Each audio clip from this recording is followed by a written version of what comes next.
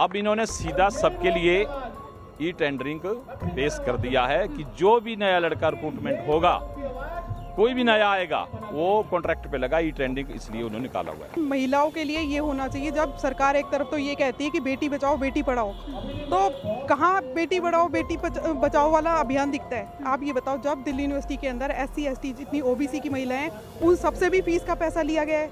आज से पता नहीं कितने साल दस साल हो गए होंगे भर्ती का। लेकिन आज तक तो कोई नया भर्ती शुरू नहीं हुआ है। और ऊपर से इसमें ये हो गया कि ई टेंडरिंग अब आप समझिए कि अगर ई टेंडरिंग का मतलब ये है कि किसी कंपनी को ये ठेका दे दिया जाएगा कि आप वर्क फोर्स हमको प्रोवाइड करें। तो वहाँ पे कोई आरक्षण नहीं रहेगा एस सी, एस टी का।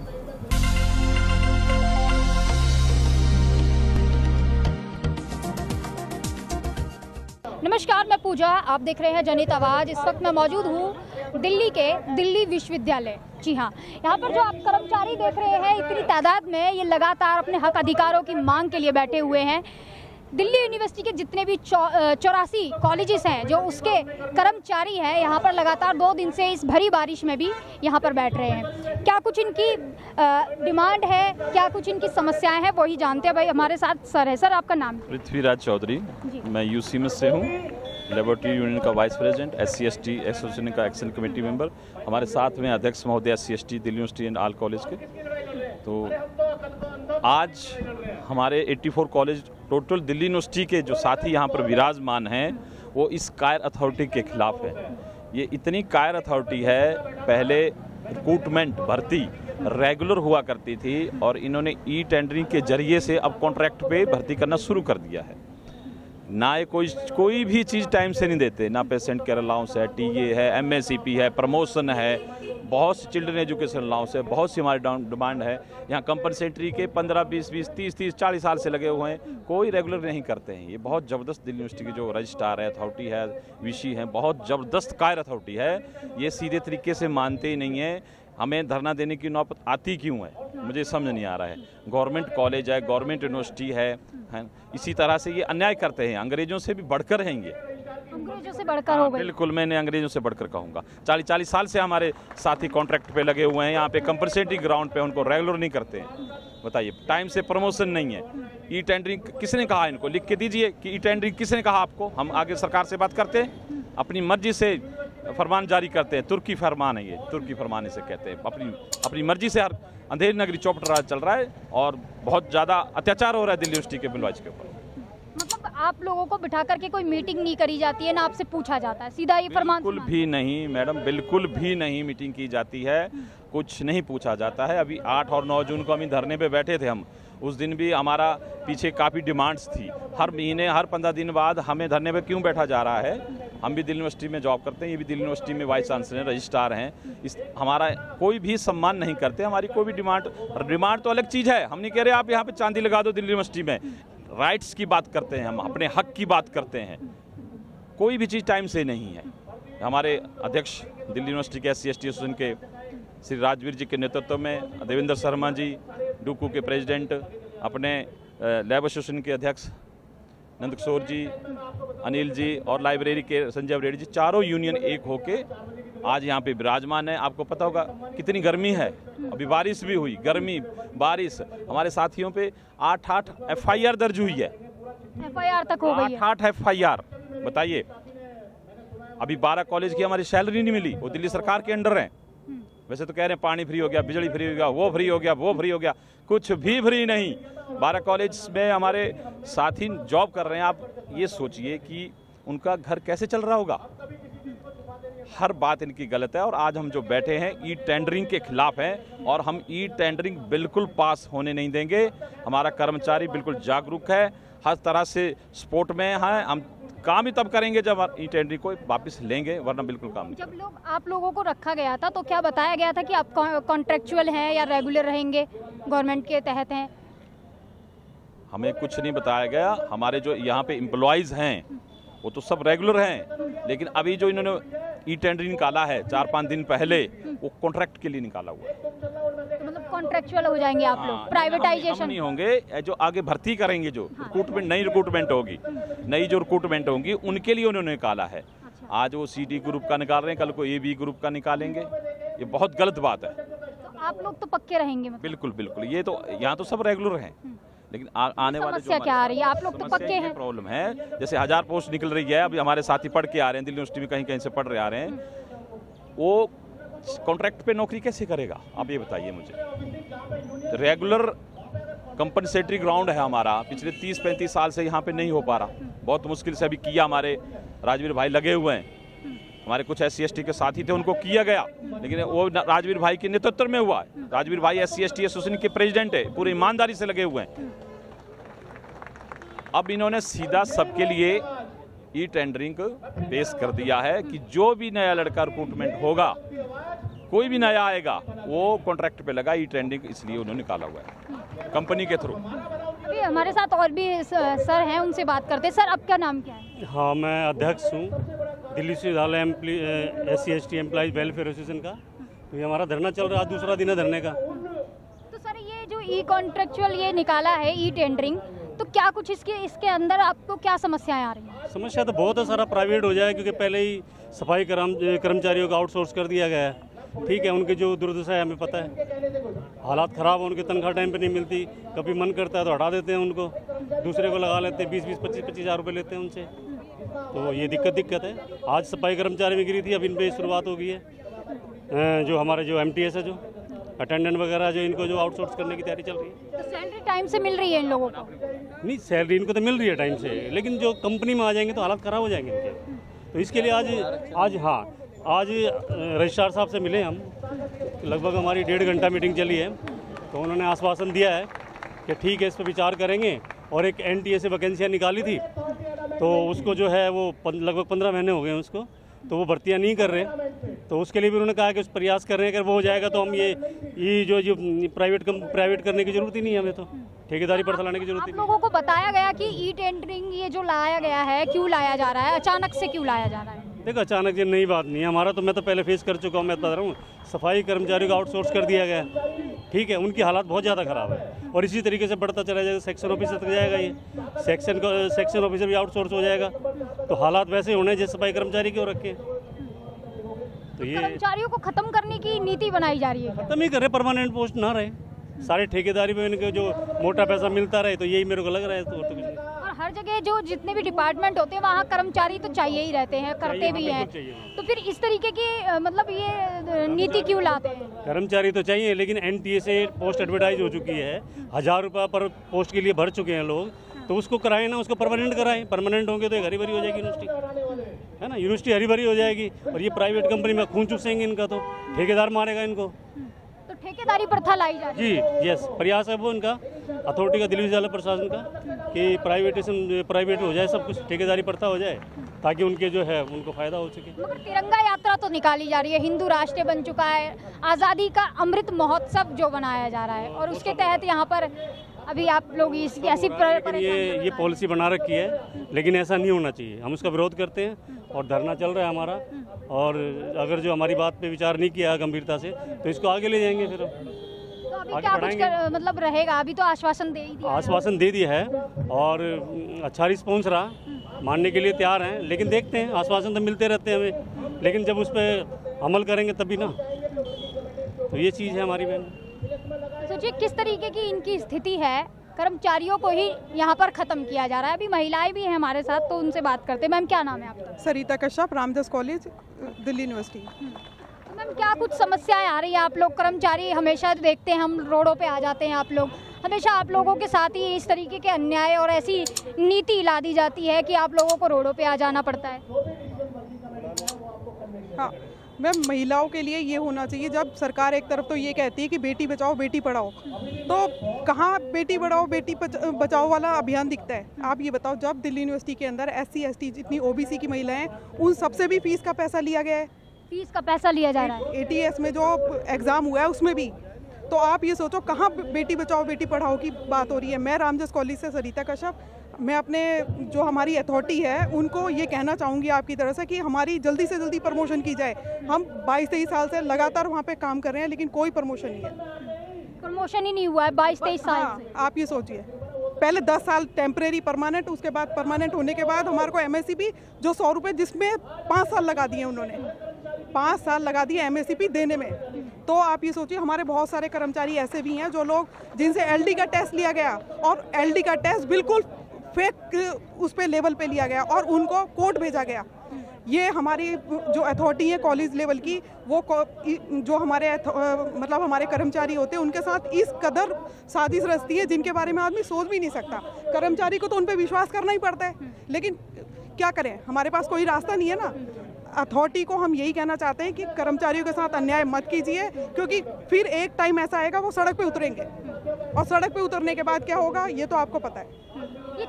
छप्पन जे है आप बता जो अधिनियम बनाया गया है जो कानून है तो छप्पन जे के तहत क्या कुछ हो रहा नहीं जी अगर आज इन्होंने ये कहा है कि ई टेंडरिंग को हम रोक देते हैं कुछ टाइम के लिए लेकिन ई टेंडरिंग को ये नहीं रोकेंगे। अगर नहीं रोकेंगे तो इसके बाद अगला नंबर जो है छप्पन जे का है। छप्पन जे के तहत क्या होगा जो जितने भी परमानेंट कर्मचारी हैं उनको भी वीआरएस देकर बाहर किया जाएगा। सबको बाहर किया जा रहा है? बिल्कुल बिल्कुल। तो मतलब क्या विरोधी है सरकार की? तो आप लोगों की कर्मचारी विरोधी? नहीं नहीं गवर्नमेंट की एक पॉलिसी है कि हर जगह को हमारे को प्राइवेटाइजेशन करना है बस। हिंदू राष्ट्र बन चुका है तो परेशान क्यों हो रही है? महिलाओं के लिए इतनी काम कर रही है कहाँ कहाँ बेटी बचाओ बेटी पढ़ाए? बेटी बचाओ बेटी पढ़ाओ का जो नियम है वो कहाँ लागू हो रहा है? हो ही नहीं रहा। जब मैं आपको कह रही हूँ कि हमारा प्रमोशन नहीं हो रहा तो बेटी बचाओ बेटी पढ़ाओ कहाँ पर है? तिरंगा तो आ गया नहीं नहीं महिला सशक्तिकरण के बोलते हैं कहाँ पे महिला सशक्तिकरण है, है ही नहीं। मोदी जी मोदी जी इतनी बात करते महिलाओं की। बिल्कुल भी नहीं हो रहा। आदिवासी हमारी राष्ट्रपति आ चुकी हैं। नहीं नहीं वो भी वो भी एक हो सकता है गवर्नमेंट की कुछ अपनी नीति हो जिसके तहत उनको लाया गया है। नीति के तहत लाया जा रहा नहीं नहीं लेकिन बेस में तो ये है कि हम महिलाओं के साथ कोई भी अच्छा काम नहीं हो रहा। अब तो आ गई है हमारी महिला राष्ट्रपति आ चुकी है और आदिवासी समाज हो, हो सकता है भविष्य में कुछ अच्छा हो जाए। भविष्य में भविष्य में हो सकता है लेकिन अभी तो हम किसी काम को ऐसा नहीं देख रहे जो कर्मचारियों में महिला कर्मचारियों के लिए कुछ हो रहा है। घर घर तिरंगा तो आ गया है ना मैडम? हो सकता है। तिरंगा यात्रा निकाली जा रही है तो- तिरंगा आ रहा है। नहीं तिरंगा तो होना चाहिए सबके दिल के अंदर होना चाहिए बल्कि। लेकिन क्या है क्या उस तिरंगे की जो आत्मा है कि महिलाओं के साथ अन्याय नहीं होना चाहिए वो तो हो रहा है हो रहा है। आप ही लोग तो लाते हैं सरकार को नहीं सरकार के लिए बहुत सारे लोग बहुत सारे तत्व बहुत सारी बातें जिम्मेवार होती हैं। कोई एक महिला जिम्मेवार नहीं होती है। नहीं महिला को नहीं बता रही हूँ आप ही लोग होते हैं आप ही लोगों में से होते हैं वोट देते हैं सरकार को चुनते हैं सत्ता में लाते हैं। तो देखिए ऐसा है ना विश्वास तो किसी ना किसी के ऊपर करना पड़ता है। अगर मैं आपके ऊपर विश्वास करती हूँ तो इसका मतलब ये चाहती हूँ कि हाँ ये मेरे लिए अच्छा कुछ करेंगी। अब नहीं अच्छा कर तो रहे हैं मोदी जी। अच्छा कर रहे हैं तो फिर हम क्यों बोल रहे हैं?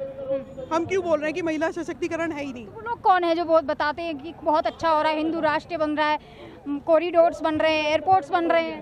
तो वो लोग वो होंगे जो उनके उनको मज़बूत करने के लिए लोग चलते हैं बहुत सारे साथ में ऐसा भी तो करने के लिए चल रहे हैं। गजब है। तो अभी हमारे साथ एक और सर हैं। सर क्या नाम है आपका? मेरा नाम अमरदीप कच्छप है। मैं Delhi university S C welfare association का सेक्रेटरी हूँ। और अभी हम लोग यहाँ पे धरना कर रहे हैं जैसे कि आपको पता है ई टेंडरिंग के ऊपर। और अगर आप जो भी पूछना चाहते हैं हमसे पूछ सर आश्वासन दे दिया गया आप क्या करेंगे? धरना खत्म कर दिया जाएगा। नहीं नहीं देखिए आश्वासन में तो धरना धरना क्या ख़त्म होगा है ना? आश्वासन तो हमारे को एज ए यूनियन मिलता रहता है। और हमको पता है इनकी नीयत क्या है कि इन, क्या करते हैं ये लोग आश्वासन के अलावा। अच्छा सर ये S C S T O B C के तहत कितनी भर्तियाँ की जाती हैं लगभग? देखिए एस सी के तहत जो संविधान से प्रदत्त है उसके उसको तो भरा जाता था। आज जाता था। था। अब आज से पता नहीं कितने साल दस साल हो गए होंगे भर्ती का। लेकिन आज तक तो कोई नया भर्ती शुरू नहीं हुआ है। और ऊपर से इसमें ये हो गया कि ई टेंडरिंग अब आप समझिए कि अगर ई टेंडरिंग का मतलब ये है कि किसी कंपनी को ये ठेका दे दिया जाएगा कि आप वर्क फोर्स हमको प्रोवाइड करें। तो वहाँ पे कोई आरक्षण नहीं रहेगा S C S T O B C का। वो कंपनी का है कंपनी से कह दिया जाएगा कि आपको 10 एमटीएस चाहिए। 10 एल क्लर्क चाहिए तो 10 क्लर्क को प्रोवाइड करा देंगे। उसमें कोई रिजर्वेशन पॉलिसी नहीं है। अगर आप इसके एडवर्टाइजमेंट को भी देखेंगे तो उसमें क्लियरली आप देखेंगे कि हमको इतना एम टी पद चाहिए और इतना हमारे को एलडीसी का पोस्ट चाहिए। और उसमें कोई आरक्षण से, कोई भी उसमें नहीं बताया गया है कि जो ई टेंडरिंग से आएँगे, उसमें इतने एस होंगे, इतने एसटी होंगे, इतने ओबीसी होंगे। तो ये एक तरह से पूरे देश से हमारे एस सी के ओबीसी और ओबीसी के आरक्षण को ख़त्म करने का एक साजिश है, जिसको अपने लोग नहीं समझ पा रहे हैं। वो लोग कहीं ना कहीं सरकार के उन अच्छे अच्छे जो एडवर्टाइजमेंट हैं, अच्छे अच्छे जो बातें हैं, उसमें उलझ के रह जा रहे हैं। शायद कहीं मंदिर मस्जिद में रह रहे हैं, कहीं हिंदू मुस्लिम के चक्कर में पड़ गए हैं। और वो लोग कहाँ किस चीज़ को खो रहे हैं उनको पता नहीं चल रहा है। हिंदू मुस्लिम के चक्कर में कहाँ पड़े हैं? मुसलमान टाइट कर दिया है चाइना टाइट कर दिया पाकिस्तान नहीं वही ना वही तो हम एक दूसरे को टाइट कर रहे हैं समझ रहे हैं लेकिन टाइट कोई कुछ हो नहीं रहा है। हम टाइट खुद ही हो जा रहे हैं है ना? जो हम लोग हैं हम टाइट हो रहे हैं। आज टाइट हो रहे तब यहाँ खड़े हैं। हमने भी वोट दिया हमने भी उनको जिताया सब कुछ किया। लेकिन क्या किया? देखिए जिस तरीके से हम एस सी का प्रतिनिधित्व करते हैं हमको पता है कि जब फोर्थ क्लास एम्प्लाई का जब आरक्षण ख़त्म करके या उनका पद को भरने से मना करके, अब यहाँ फोर्थ क्लास एम्प्लाई का भर्ती नहीं होता अब। उसको मना है, टोटल।